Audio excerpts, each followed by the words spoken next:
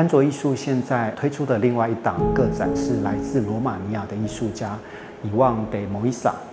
呃，那这次的呃展览也是以旺他在我们画廊的首次个展，也是在台湾跟亚洲的第一次展出。这个展览的标题叫做“相会于生命之时”，那展出了艺术家近两年最新创作的将近三十件作品。然后包含了有呃比较西方的这种油画跟亚克力的美彩，也有了不少素描、纸本呃的创作包含在里面。我们现在看到了这个入口的第一件作品叫做暖冬，然后画面上其实描绘了一个呃很孤单的身影，然后在一个太阳光照射拉长的阴影底下，你可以看到画面有一个蛮蛮孤寂的构图。也可以看出来，它是一个冬日的景色，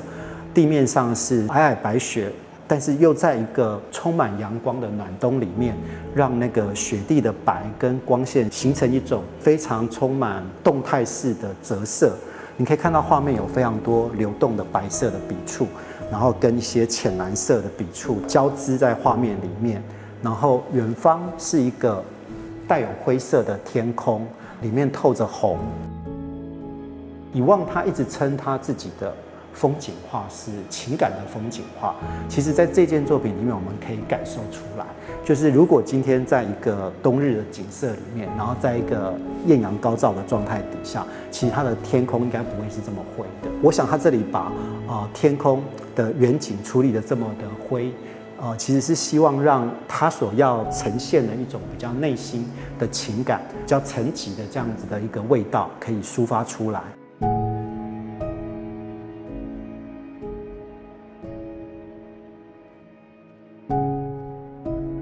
这件纸本素描是这一次展出的非常多的纸本作品里面最大的一件。他画的主题是冬日鸟鸣，在画面里面我们可以看到右上方跟左下角都有鸟的身影。哦，然后在这个以描绘风景跟鸟的这样的一个画面里面，艺术家把它表现诠释的非常的抽象跟即兴。我们在这个白色的底。跟灰色的层次跟黑色的线条之中，感受到这样一片充满像游戏的一个手法跟即兴的一个节奏。然后呃，白色跟灰色主要是粉彩的描绘，黑色是炭笔。在这种粉彩跟炭笔的使用中，我们看到了非常多不同的粗细的线条，然后还有的一种呃介于抽象跟具象之间的关系。那这幅画对我来讲，它最大的一个一个趣味性，其实也在于啊，艺术家他虽然是在画一个风景，但事实上他是用一个比较像呃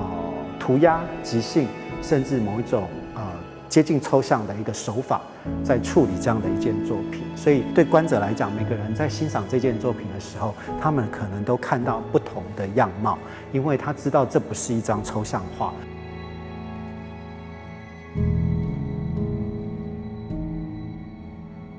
以往的创作基本上都是以风景为主。那他画的许多风景画里面，呃，除了他自己非常强调的情感以外，基本上都是来自于他故乡特兰西瓦尼亚的一个景色的特征，还有他经常旅行各地的一个足迹。那我们现在看到的这些纸本，都是他这几年旅行的一些留下来的一些记录，某种程度上很像是他的绘画日记。也是他平日在储存灵感，啊，生活跟灵感的一个一个一个文献。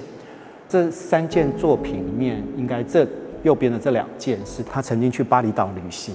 然后也在那边做了不少的手稿跟创作。然后最左边这件是他前往非洲，非洲多哥啊旅行留下来的一个记录。那在他的纸本里面，一样有非常流畅的一个笔法，跟非常好的颜色的一个搭配。呃，不管是在巴厘岛或在多哥，我想它都是处在一个热带，所以那里的颜色的明亮度跟彩度，其实都会跟欧洲非常不一样，会跟我们比如说前面刚刚看到的他画他自己比较他家乡的景色的暖冬，会非常的是不同的韵味。这件呃水彩纸本作品《海洋的忧郁六》，我们看到艺术家用一种啊非常像是自传式的描绘。呃，它里面常常出现的那个一个人的身影，很多时候我觉得都是艺术家的自画像，或是他的一个隐喻。那这里面呃，你看到他对这个所谓的海洋忧郁的诠释，是一个男生的背影，他双手插在呃腰部上，然后头部往下看，有一点点凝视，有一点点在思考什么的一个状态。然后风景的环境，它其实表现得非常的粗略，但是就是一道比道这样的概念，就是蓝色的线条跟上面的一些